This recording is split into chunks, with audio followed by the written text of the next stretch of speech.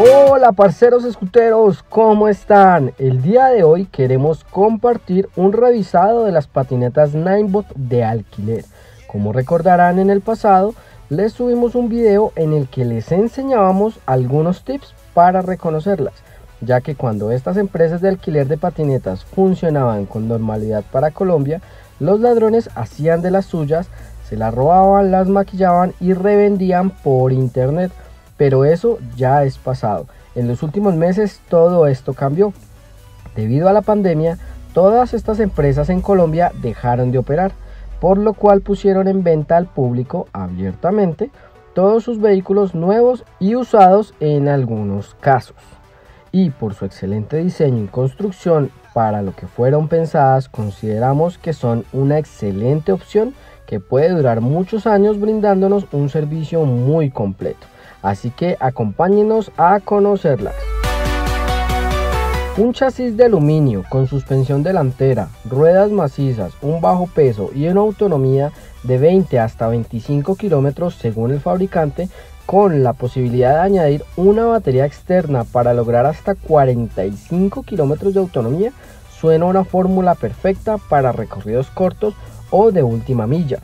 Cuenta con una carga rápida de apenas 3 horas y media con un diseño muy pulido y minimalista, donde no vamos a ver cables expuestos, una excelente calidad de componentes y hasta conectividad Bluetooth con nuestro smartphone para obtener toda la información de nuestro scooter a un clic y para poder personalizarla mediante las luces que montan su chasis que configuraremos desde la aplicación.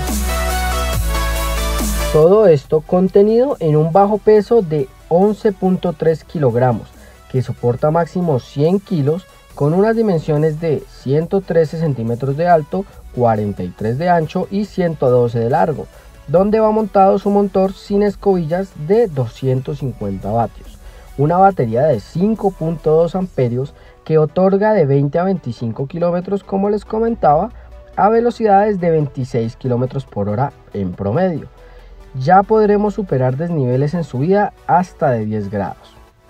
Ojo, un dato interesante, que esta patineta cuenta con certificación IP54 para resistencia al agua, ya que como les comentaba, está pensada para el alquiler y para poder soportar al sol y al agua mientras cumple su función de movilizar usuarios mediante estas plataformas.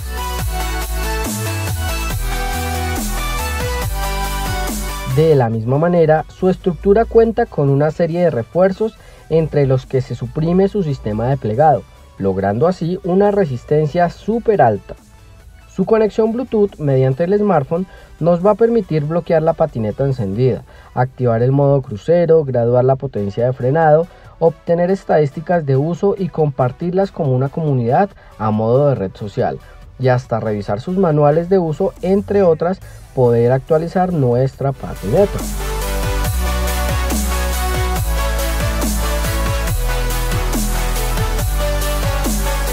Para su sistema de frenos se equipa con un freno electrónico principal con el sistema de regeneración de energía llamado KERS en el motor delantero y se apoya con un freno de emergencia accionado mediante fricción al pisar el guardabarro trasero, el cual para su velocidad de stock es más que suficiente.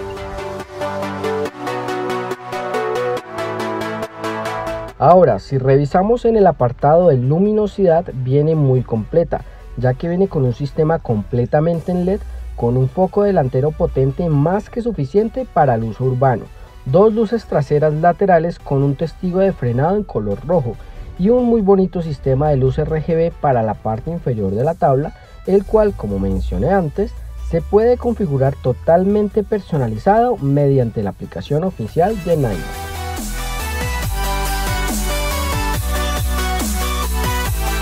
Ya por último, queremos centrarnos en sus ruedas que son macizas, que aunque no destacan por ser muy gomosas, proporcionan un buen agarre, tienen un labrado algo superficial, pero que funciona para disipar el agua de manera correcta.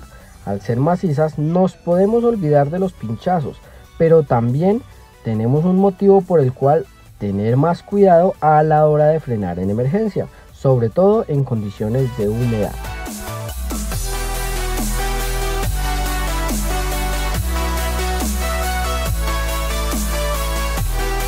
Al ser una scooter tan liviana, ultra resistente y con potencia suficiente es una excelente opción para recorridos cortos sin preocupaciones. Es una muy buena opción por su bajo costo ya que las empresas como Green, Move o ahora Movo las remató a precios de locura y en algunos casos venían totalmente nuevas como les mostraremos en las siguientes tomas.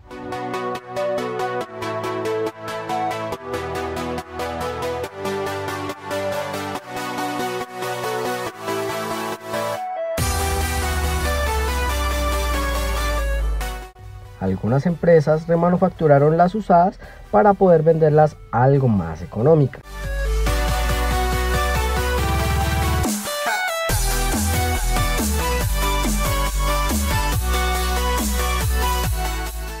Su único punto en contra, siendo relativo, sería la falta de su sistema de plegado, que se reemplazó para ganar resistencia, pero que algunos usuarios lo van a echar de menos. Por último, como sabemos que lo van a estar preguntando, el top speed o velocidad final de esta patineta totalmente stock es de 26 km por hora y solo conectándole la batería adicional externa nos sube a una velocidad de 33 km por hora y una autonomía de hasta 45 kilómetros.